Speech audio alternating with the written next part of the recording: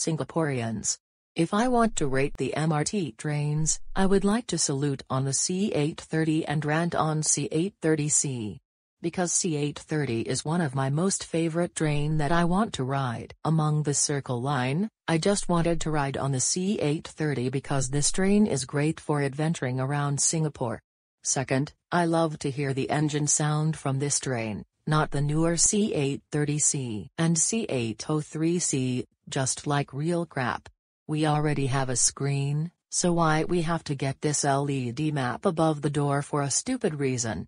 And what's more, no one would ever want to ride this stinky train. The C830C, more like cock 830 cunt. David how dare you ran on trains? Did you know that workers have to suffer from less satisfying conditions and rigorous schedules so that we can have a modern metro system to go around? This means you're grounded for life. Now go to bed now.